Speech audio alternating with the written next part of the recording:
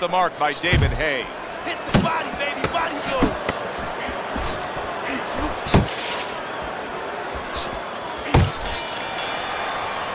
And that's the end of round two.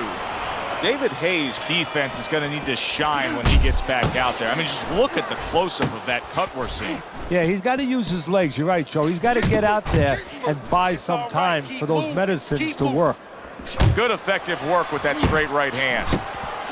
David Haye's trying to get back to where he was here in this round. He was knocked down in the last round. Now, Teddy, when you're the opponent and you knock the guy down, those opening few moments of the next round, do you try to size up and kind of take into account where your opponent is? Do you look into his eyes and assess the situation? Well, I don't know if you get close enough to look right into his eyes as the opponent. But first of all, in the corner, you better not send your fighter out if his eyes don't look clear. That's your responsibility, looking out for the fighter. And banging away he. This is going to take some guts to get up from this. Once again, he goes down. You know David Haye's not going to give up easily. He beats the count here. Relax, relax. That's what I like. There's that overhand right. Coming to the halfway point of this third round.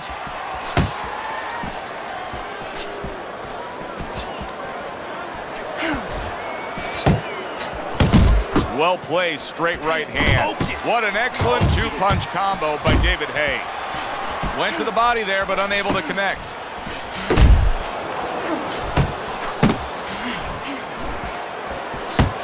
Keep that head moving, baby. Come on, Chandler.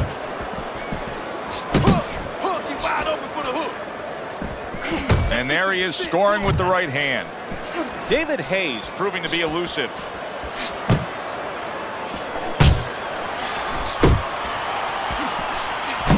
Jab followed by the straight by David Hayes.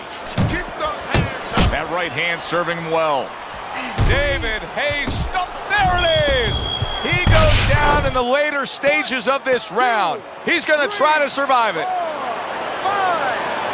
It's over. This fight is over. David Haye's smashed, and he can't get up. Unable to beat the count.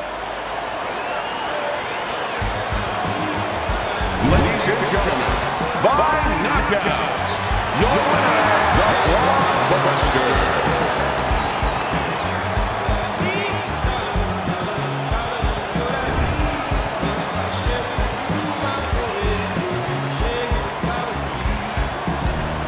This fight is now over, and Teddy, it was obvious right from the beginning which way it was going to go. Oh, yeah, what a tough guy. He took so much, but he took too much. The only guy tough is his manager for taking this fight. For Teddy.